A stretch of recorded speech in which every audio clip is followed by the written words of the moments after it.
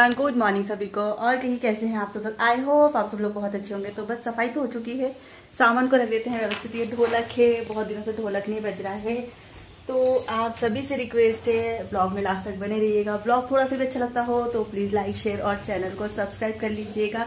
यहाँ पर ये सारा मेरे क्राफ्ट का सामान है तो क्राफ्ट भी नहीं बन पा रहा है मतलब कुछ बना ही नहीं पा रही हूँ। टाइम नहीं मिलता है, इतना बिज़ी रूटीन रहता है, और जो ब्लॉग रहता है, उसमें भी टाइम हो जाता है, साथ में हाउ टू मेक के लिए रेसिपी बनाना। एच टी एम पे अभी छोटी छोटी मेहंदी की डिज़ाइन डाल रही हूँ बस तो आप सभी से रिक्वेस्ट है, जिसने भी मेरे तीनों चैनलों को सब्सक्राइब नहीं किया तो प्लीज़ तीनों चैनलों को सब्सक्राइब कर लीजिएगा बेलाइकन के साथ में। और जैसे भी छोटा मोटा जैसे भी वीडियो डालती हूँ, मैं खुद ही डालती हूँ बना के इन चैनलों पे और एडिटिंग वेडिंग सब मुझे ही करना पड़ता है, इसलिए मुझे दो ढाई बज जाता कभी कभी तो बच्चे चिल्लाते हैं तो फिर मुझे सोने जाना पड़ता, नहीं तो फिर मुझे, है ना।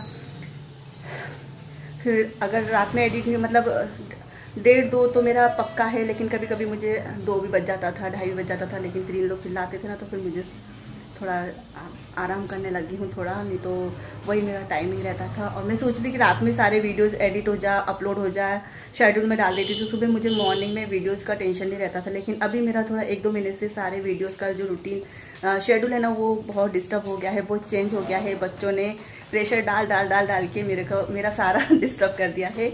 और हाँ इन लोग डालने नहीं देते देख रही अनुष्का मुझे, चिल्लाते हैं इन लोग कि सो सो सो। कल भी प्रांजल बोल रही थी, मम्मा, सो थोड़ी देर, दिन में भी सोया करो थोड़े, दिन में तो मैं सोती हूँ, दिन में मुझे, है ना, आधा पौन घंटे की भी नींद मिल जाती ना तो मुझे क्या रिलैक्स मिलता मिलता है? मतलब एक डोज मिल जाता है नाइट में जगने के लिए कि चलो हाँ मैं अब रात में जग सकती हूँ, इसलिए मैं दिन में ज़रूर सोती हूँ, चाहे आधे घंटे के लिए सोऊँ तो बस ये टेबल वेबल सब ठिकाने रख देते हैं और क्लीनिंग हो चुका है तो बस नाश्ते की तैयारी करनी साढ़े दस हो रहा है। नाश्ते में बना रही हूँ मैं अभी आलू के पराठा। हाउ टू मेक पे रेसिपी अपलोड करी है मैंने आ, स्प्रिंग रोल की। तो आप सभी से रिक्वेस्ट है स्प्रिंग रोल की रेसिपीज़ देख लीजिएगा। और वहाँ पर मैंने आ, बेक करके भी डाला है साथ में फ्राई करके भी स्प्रिंग रोल बनाए दोनों। टू टाइप्स के टू टाइप से स्प्रिंग रोल बनाए हैं तो आप वॉच कर लीजिएगा। तो चलिए बस बात बहुत हो गई है।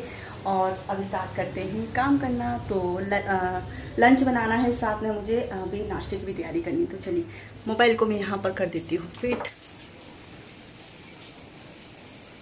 क्या है? कोशिश कर रहा बड़े बड़े ना बहुत बड़े बड़े बाल है ना आपके?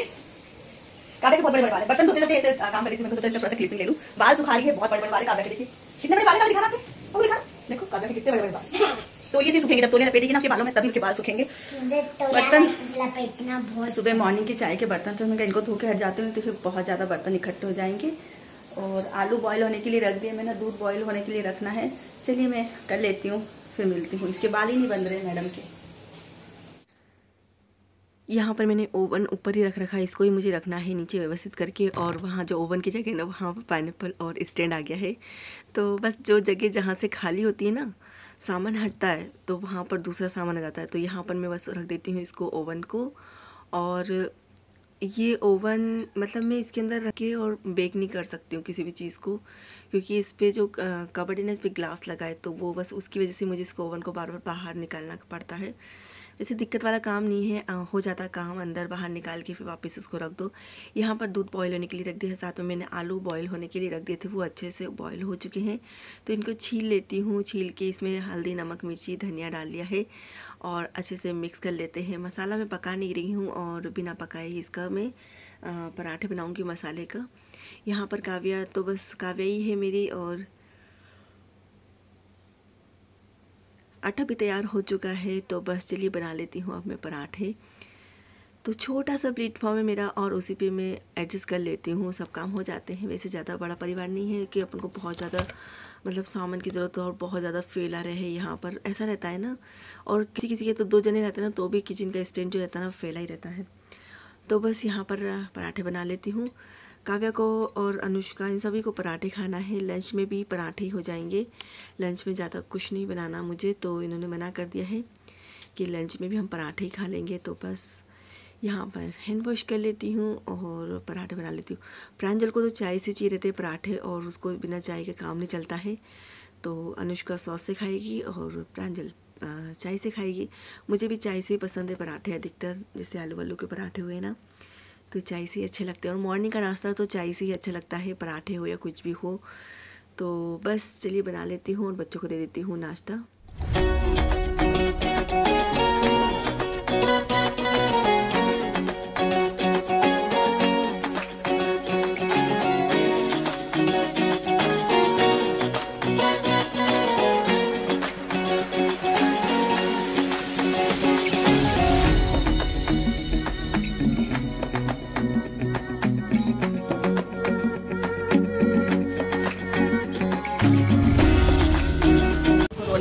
काव्या को रोना अब मेरा बेबी को रोना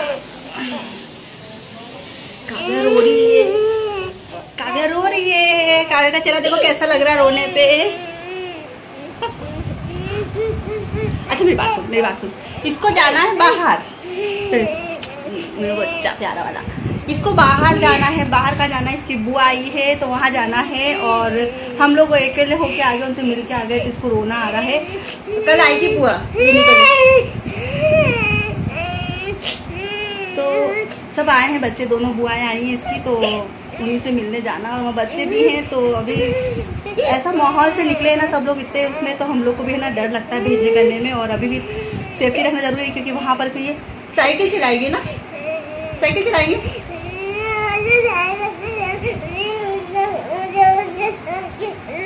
खेलना है? विनी के साथ। विनी के साथ खेलना है। तो विनी कल आएगी, उसने मेरे को बोला। कल आएगी, पक्का आएगी। उसने मेरे को बोला पिज्जा बनाने के लिए। पिज्जा बनाने के लिए बोला, उसने पिज्जा, पिज्जू पिज्जू पिज्जू। आपने भी बोला है, उसने भी बोला है। वो मेरे को, उसने भी बोला था, पिज्जा बनाएँगे तो कल आएगी वो पिज्जा खाने। पिज्जा चाहिए आज? तो? आज ही जाना है। चलो। बच्चा।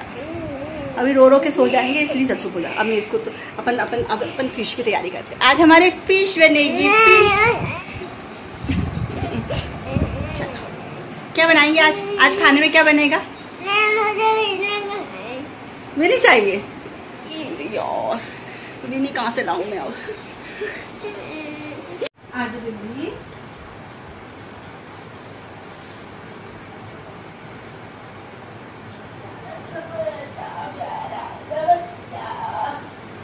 वो खाएगा क्या? वो काट दो आपके लिए।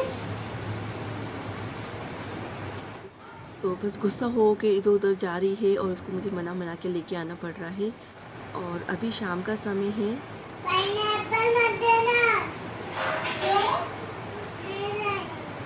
नहीं चाहिए मेरी बेबी को पाइनएप्पल पहले खाओगे फिर भेजूँगी मैं। तो पहले खा लो फिर जाना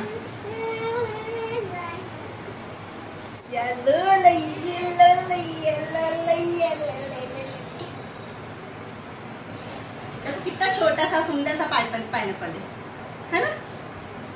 डोंग डोंग डोंग डोंग डोंग डोंग।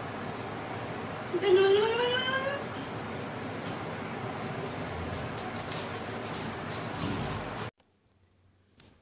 आज तो इतनी जिद्दी पे आ गई ना ये कि बस मतलब इसको मुझे फिर है ना, इनके पापा को बोलना ही पड़ा कि इसको लेके जाना। अभी इनके पापा गए हैं मार्केट, सब्ज़ी लेने तो बस आज भी शाम का समय है तो बस फ़िश की तैयारी करूँगी इसको मैं थोड़ा मना लूँ। नहीं तो ये है ना, रोती रहेगी रोती रहेगी और रो के फिर सो जाएगी। और अभी टाइम है साढ़े पाँच छः बजे का टाइम है। तो अभी सो गई तो फिर नींद क्या डिस्टर्ब हो जाएगी इसकी? तो बस मैं इसको ये दे देती हूँ ये खाती रहेगी बैठ कर और इतना चेहरा इसने कल मतलब रो रो के ऐसा कर लिया ना ये देखिए। ये मैंने बाद में देखा कैमरे के सामने मतलब खुद का फेस नहीं दिखा रही है और हाथ लगा के बैठी हुई है। यहाँ पर हो गया है पानी का समय मतलब नल आने वाले हैं पीने का पानी का पा, नल आने वाला है। तो बस वही मैं भरने लग गई हूँ और साथ में ना मैंने खाने की तैयारी भी कर ली थी। तो अभी टाइमिंग हो रहा है, ज़्यादा हो रहा है मतलब साढ़े सात सात बजे का टाइमिंग हो रहा है। तो बस यहाँ पर पीने का पानी मतलब खाना बनाते बनाते छोड़ के और फिर यहाँ पानी भरने आई मैं। तो ये शाम का नल जो हो गया ना आने का, ये बहुत ज़्यादा बेकार टाइम हो गया, क्योंकि शाम को भी है ना सुबह जो काम रहते हैं ना, वो अलग ही बात रहती है। सुबह झाड़ू, पोछा सब हो जाता है, उसके बाद फिर शाम को ये वापस से मेरा इतना फैल जाता है ना काम कि मुझे ना डबल मेहनत हो जाती है। और यहाँ पर ये बस फिर मैं पानी साफ़ कर रही हूँ यहाँ पर। और ये इतना फिसलन जैसा हो जाता ना, क्योंकि पत्थर पर अगर पानी रहता ना तो फिसलते ही हैं। तो यहाँ पर मैं ना दो तीन बार फिसलते फिसलते बची तो बस मैं इसको साफ़ कर देती हूँ। यहाँ का साफ़ करने के बाद फिर से मुझे किचन में जाना है, क्योंकि सब्ज़ी बन रही है, साथ में मैं रोटियाँ बनाते बनाते आई मैं यहाँ पर पानी भरने तो बस इसको क्लीन कर देती हूँ। पानी को नहीं तो कोई और फिसल जाएगा तो दिक्कत जाएगी।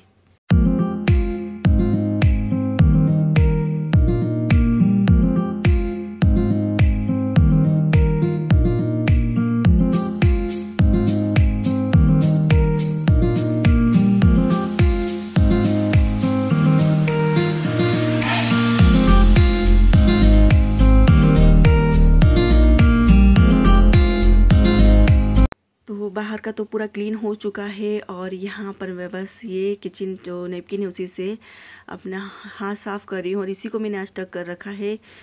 तो बस यहाँ पर मैंने जो सब्ज़ी है ना फ़िश की, वो आप लोग के साथ शेयर नहीं करी क्योंकि इससे पहले मैं कई बार फ़िश की रेसिपी आप लोग के साथ शेयर कर चुकी हूँ, इसलिए मैंने सोचा कि चलो कौन करे बार बार एक ही जैसी रेसिपी तो बस यहाँ रोटियाँ भी बन गई थी, उसके बाद मैंने प्लेटफॉर्म साफ़ कर दिया है और सिर्फ़ खाना मैंने अभी बना के रखा है और खाना खाने वाले अभी है ही नहीं।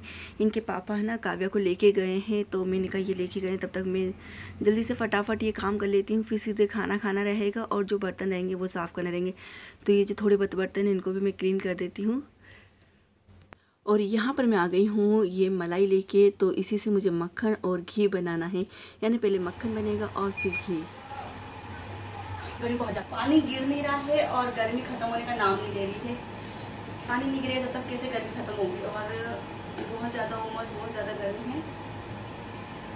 तो ये जो मलाई है ना, ये तपेली दो बार फ्रिज से बाहर निकली और दो बार ही फ्रिज में वापस चली गई। तो आज तो मैंने सोचा इसको बनाऊँगी और अभी इसलिए बन रहा है क्योंकि इनके पापा बाहर गए हैं, काव्या को लेकर काफ़ी जिद्दी करती भी नहीं तो मिलने के लिए तो उसको वहीं लेके गए हैं और कितनी देर हो गई उनको एक घंटा हो जाएगा लेट एक घंटा हो गया मतलब आठ बजे निकले थे लोग तो आठ बज के पचपन मिनट हो रहे तो मैंने कहा, अभी इनका आने के ठिकाने नहीं है तो मैं खीर बना लेती हूँ। तो ये वापस से फ्रिज में चल जाएगा तो उसमें बना के रख देती तो ये, जब भी आप घी बनाओ ना तो मलाई को पहले ही बाहर निकाल दीजिए। गर्मी हो या ठंडी हो, गर्मी में क्या थोड़ा जल्दी से पिघल जाती है तो हो सके तो गर्मी में फ्रिज से निकालने के बाद, आधा घंटे बाद बना लीजिए। फ्रिज से निकाल के रख दीजिए और आधा पौन घंटे बाद अब बना लीजिए।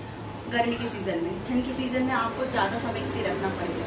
ठंड के सीज़न में आप इसको सुबह निकाल कर रख दीजिए और फिर मतलब चार पाँच घंटे बाद बना लीजिए रूम टेम्परेचर पे आ जाएगा ना तो ईजिली बन जाती है ठंड के दिनों में। बाकी गर्मी में तो बन जाती है, गर्मी इतनी दिक्कत नहीं आती, लेकिन गर्मी में देखिए इस तरह से हो जाता है, बहुत जल्दी पतला। इसलिए गर्मी के दिनों में अगर आप फ्रीज से निकालने के आधे घंटे बाद ही बनाओगे ना तो बन जाएगी। तीन चार बार इस तरह से फेटा है। और ये देखिए, मक्खन जैसा फॉर्म में आ गया है ये। जैसा मक्खन होता है ना वैसे तरह से बन गया है। तो बस इसको पकाऊँगी तो मैं बाद में खाना वाना खाने के बाद ही इसको पकाने का काम करूँगी। और बस आज का व्लॉग एंड करते हैं। आप लोग को आज का व्लॉग कैसा लगा, ज़रूर बताइएगा। अच्छा लगा हो तो लाइक शेयर और चैनल को सब्सक्राइब कर लीजिएगा।